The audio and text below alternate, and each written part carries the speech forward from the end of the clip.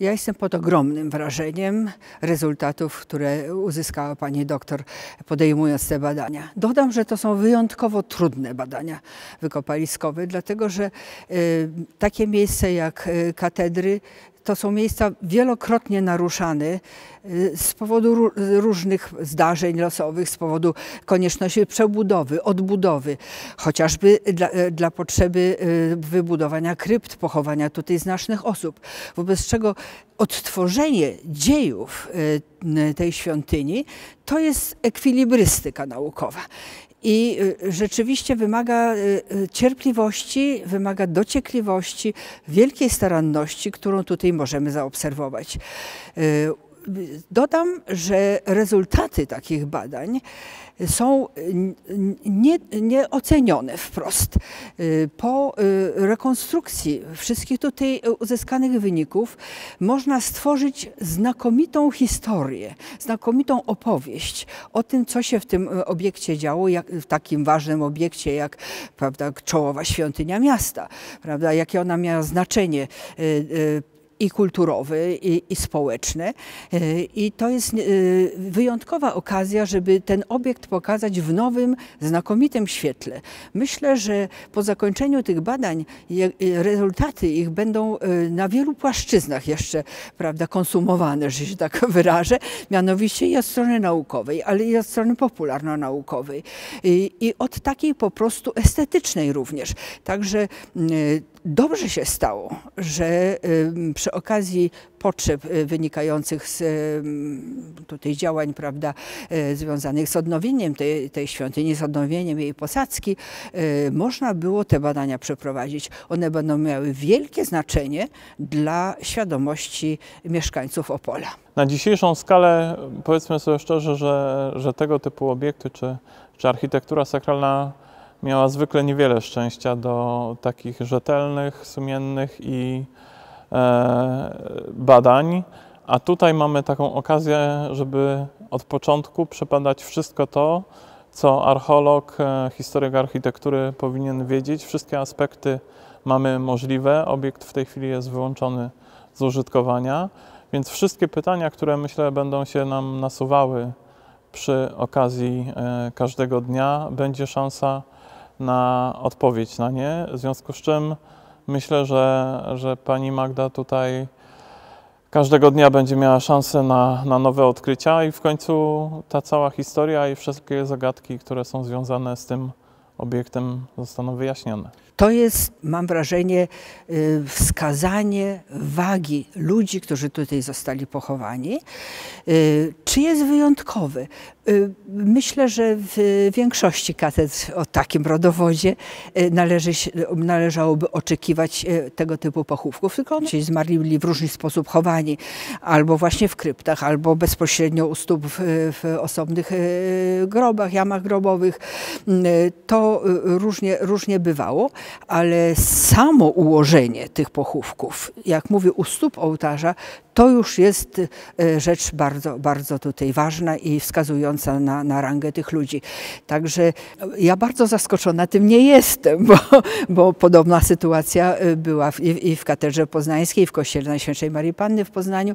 Także widać, że, że to takie miejsca były przez, e, przez możnych tego, tamtego już świata e, szczególnie ważne dla ich e, powiedzmy no, jakiejś identyfikacji religijnej, ale też identyfikacji ich pozycji w społeczeństwie. Po pierwsze mamy do czynienia z obiektem, który, który był gdzieś tam w domysłach historyków, a tutaj mamy go na wyciągnięcie ręki i ba, możemy sobie, e, możemy sobie go dotknąć.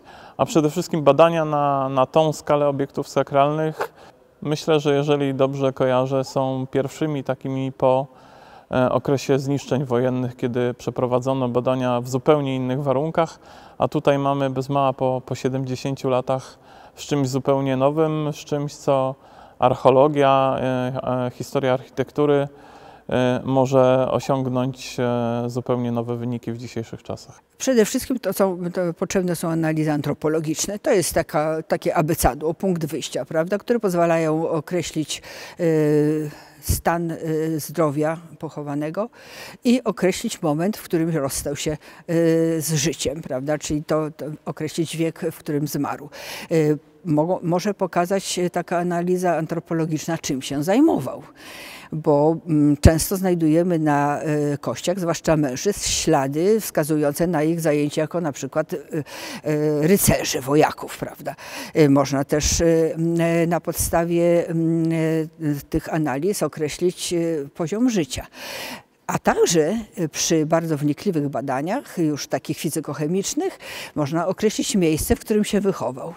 Ponieważ y, y, to, co my w tej chwili spożywamy, odkłada się w naszych kościach i po prostu, a, a, a to, co jemy w okolicy, prawda, można dzięki badaniom szczegółowym, prawda, odnaleźć w, w naszych kościach i później wskazać, że oto, chociaż mieszkamy na przykład w tej chwili w Opolu, rodziliśmy się może poza tym regionem. Także antropologia i badania fizykochemiczne tu są e, e, e, rzeczywiście podstawowe, ale jest jeszcze jedna możliwość, możliwość śledzenia pokrewieństwa osób tutaj pochowanych poprzez analizy kopalnego DNA. To dzisiaj te badania pokazują całą skalę możliwości pokazać no właśnie pokrewieństwa między tymi ludźmi, wskazać, czy to, czy to byli ludzie sobie pokrewni, czy też nie, prawda?